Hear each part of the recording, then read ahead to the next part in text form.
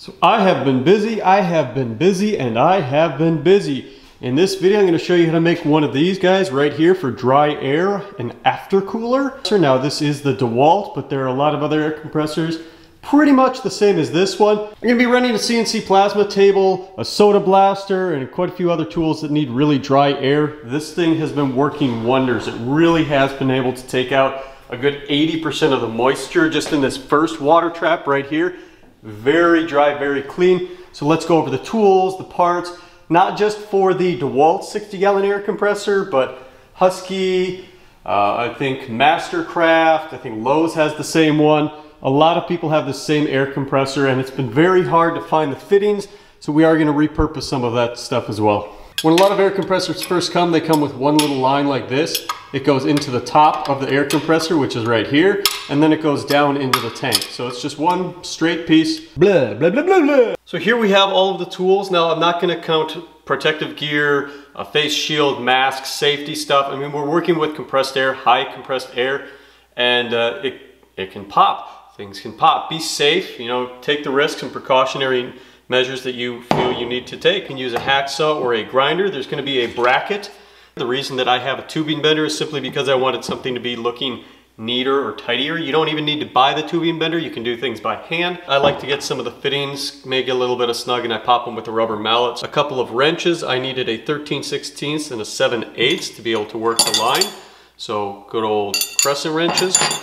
The measuring tape, uh, again, you don't necessarily need it. You can just kind of wing it, but uh, measuring tape, if you want to measure certain lengths to get something neater and tidier. This first line here coming out of the compressor is roughly 33 inches. This line right here coming out of the radiator going into the water trap is roughly 27 inches long. And then this line right here going into the air compressor is roughly 35 inches long in case that helps. Measure it on your own, give it a little bit extra, you can always cut down. Needle nose pliers, which you may see is a little bit uh, clean right now around the edges. I use the needle nose pliers simply to start the flare on the pipes and clean out the, the edge and the burrs. Um, two, two pipe cutters. You don't need two pipe cutters, but I'm going to show you what I did with one of these. This I left as a pipe cutter However, I can just take the, the cutting wheel out and do this, uh, which has washers in there.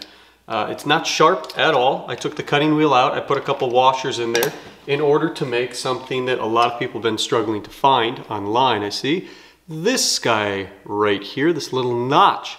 I'll tell you about that notch when we're going over how to make it. Flaring tool, that's gonna be creating the taper for your pipes, for your fittings and then a little bit of wet dry sandpaper. Take out some of the sharp edges once you make your cuts. Picking up where we left off, I get to throw in a nice little pun right here, but we need a pick. I forgot about that tool. These are the supplies that you're gonna need. I'll show you using the pick momentarily. So this is the original part that was mentioned, and we are really reproducing this end and this end here. Now, uh, if you notice, this no longer has the, I believe it is a reverse flare nut and it has the same threading as a flaring adapter for hydraulic fittings, but it doesn't fit in. So we're gonna be reusing the reverse flare nut on that side, and I'll show you that you can actually get this fitting over here. Compression nut, I got this one at uh, Northern Tool.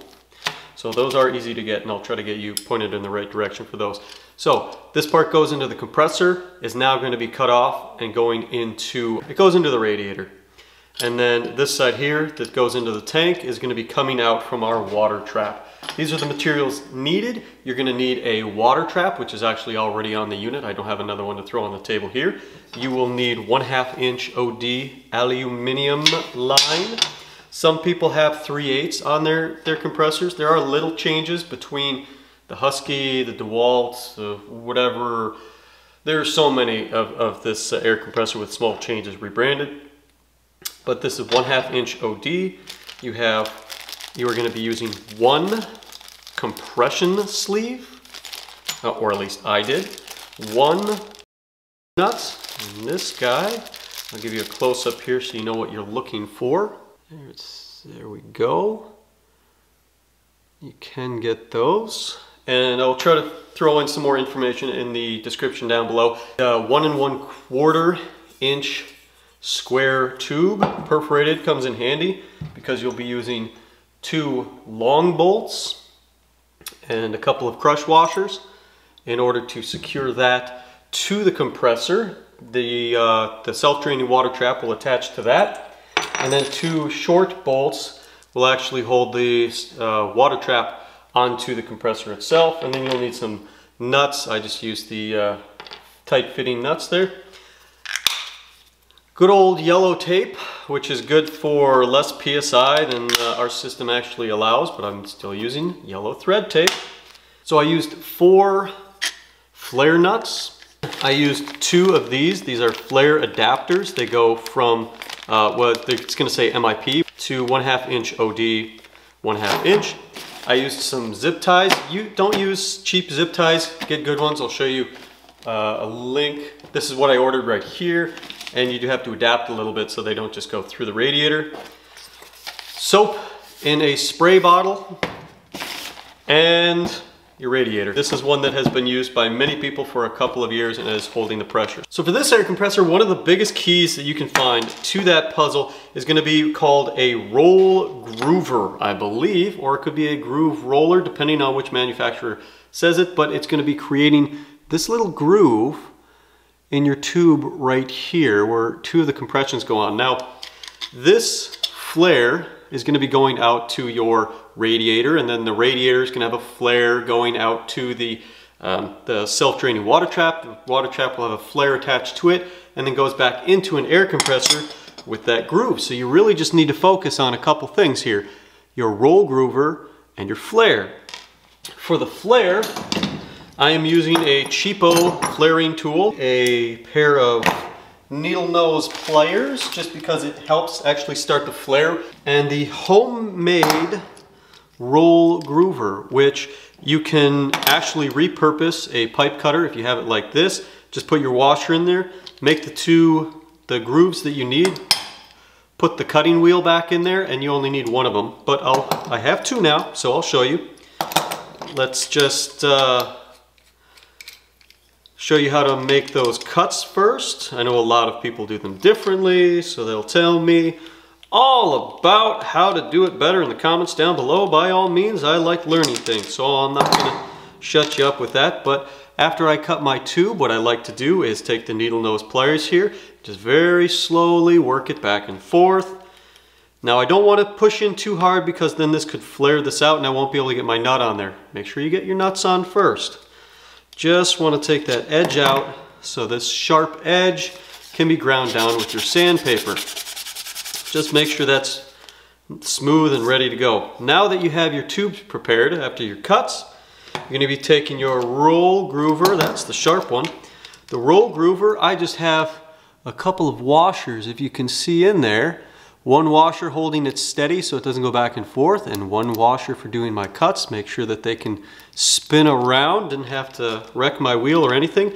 I will take my existing tube that came off of the air compressor, and I'm gonna measure the distance to make sure that I get those in the same place. And I will just put that washer down, tighten it, and slowly do the same as though I were doing a cut. Slowly working that around, a little bit tighter, a little bit tighter, a little bit tighter.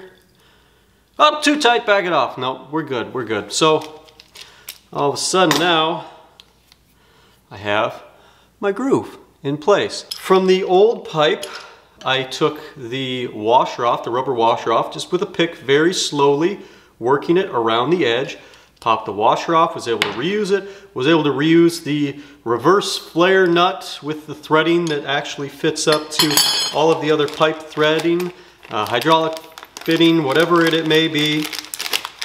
But I really couldn't find that part. I've, I went to Fastenal, I ordered through there, I've ordered parts that I've seen in videos, I've ordered independent parts off of Amazon, independent parts off of eBay, and the thread does not align to this side thread. Most everything that I found aligns to MPT or 18 thread, 20, whatever it is. Doesn't work, this does work. So now you've got your old part reused from the other side and you can run that line into your compressor. Works, holds, really nice. You put the washer back, you put your nut on, you put your O-ring back on there, good to go. Let's move on quick. Spent too much time on that already. The other side is gonna be a little bit more tricky.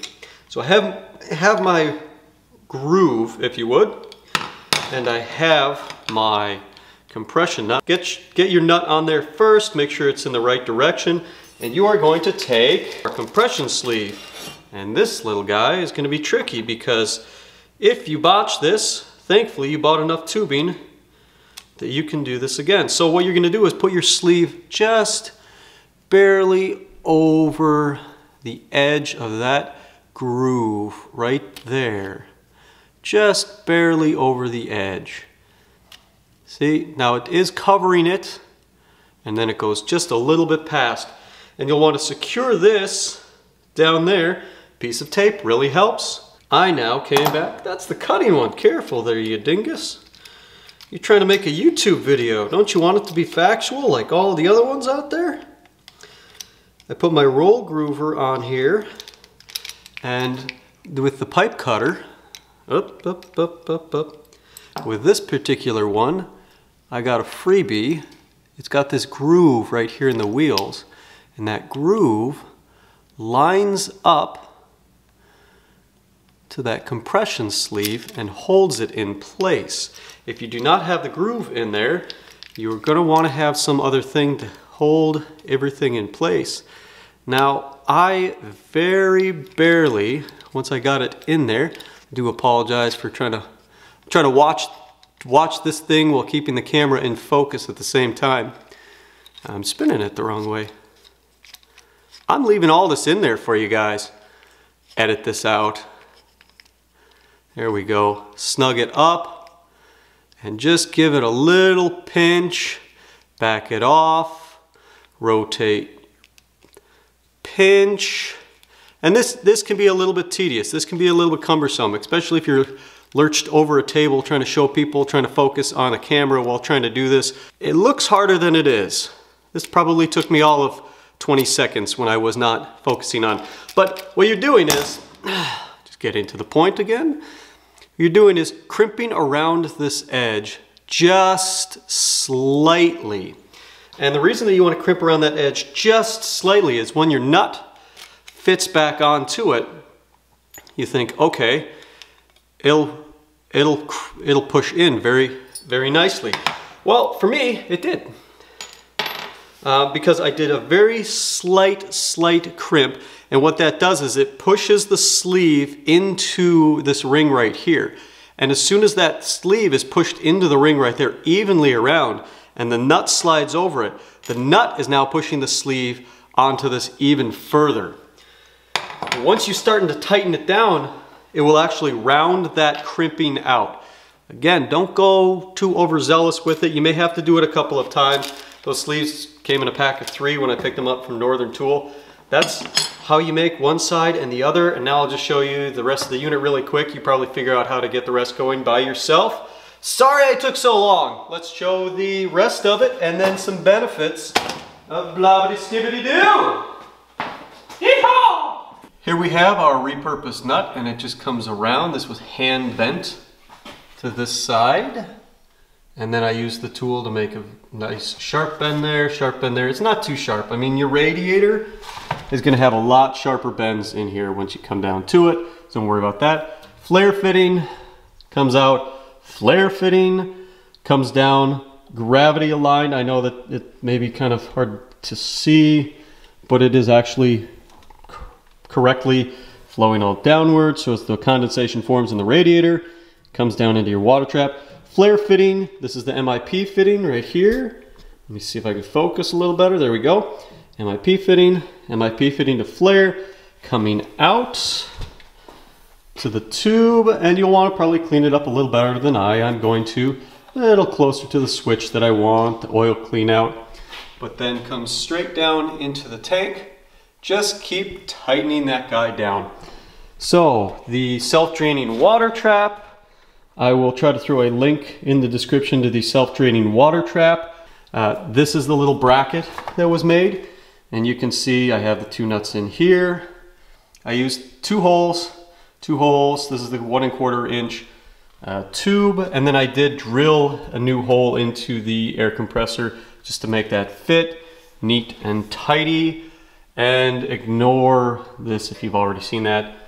Don't forget your soapy water. I took mine up at 20 PSI at a time, then would shut it off and I would check those fittings. This does have an automatic relief, pressure relief, so as I took it up in pressure, it would decompress the entire system, so I'd have to work a little bit fast, but I got everything fitting just nice. Welcome to my wonderful world of no-nos and boo-boos. I am so shorted for space that the Canon go-kart has to be resting up against the wall. I do have an extra hum dehumdifier over here that's taking moisture out of the air. Yes, I am running my manifold directly off the anti-vibration hose, which is a no-no. So if you are running a larger operation, you're still gonna wanna add more to this. Do not think it is the end all be all. Try to run that at least 20 feet to 40 feet of copper pipe to help you cool down the air even further before you hook up your water traps and filtration systems. If you notice over here to the left of the compressor, I have just a little bit of space. I am gonna try and put a refrigeration unit in there. For the time being, this is working really well. This is quarter inch steel plate and I've been doing quite a few cuts with it. I just cut up uh, three sheets of different gauges. Yes, I could have gotten it sheared, but right now with the price of steel, they're charging like up to $90 to shear one full sheet. So I've got this lovely trailer. It is working out just fine with the plasma torch. I know I called it plasma cutter. I am gonna be doing builds over here. I have a pile of mini bike parts and uh, other stuff that's kind of secretive right now. You can check that out. Frame for it. Uh, race wheelbarrow is gonna get a little bit of some upgrades. I have some Dom. My line, I'm, I'm cutting just fine with it. It's really great. I really like this system. Hopefully it helped you guys out. Hopefully I earned a like from you today. And of course, I hope you enjoyed the video and I hope you have a great day.